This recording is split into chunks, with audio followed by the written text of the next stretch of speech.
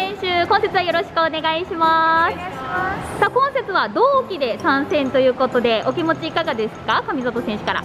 追加で来てくれたので、とっても楽しみです。はい、さあ、中尾選手どうですか？追加来たかったので、嬉しいです。ありがとうございます。さあ、二人とも大村の水面のイメージとかどうですか？とってもいいです。うん、はい、いいと思います。はい、大丈夫ですか？無理やり言わせてる感じ。大丈夫ですか？はい、さあ、それではですね、今節の意気込みを、じゃあ、上里選手から。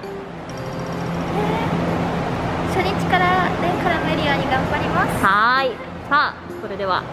中尾選手。えっと、この前、数日さえ上げたんで、また一着取れるように頑張ります。はい、では、最後に、お二人とも沖縄弁で意気込みお願いします。